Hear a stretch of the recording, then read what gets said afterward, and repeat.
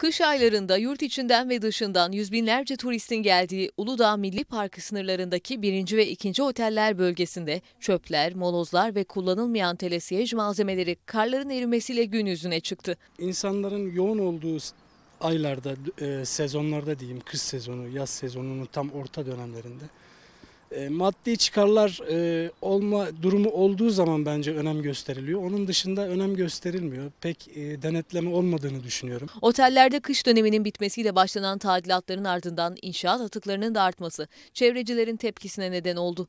Doğayı ve Çevreyi Koruma Derneği Başkanı Caner Gökbayrak sorumluları denetimleri sıklaştırmaya çağırdı. Yalnızca askeri e, üstler, askeri e, gereklilik söz konusu olan Genelkurmay'ın çok elzem gördüğü tesisler dışında hiçbir tesis yapılamaz diyor. Bu kadar net. Ticari faaliyet yürütülemez diyor. Bu kadar net. Kanun bunları diyor.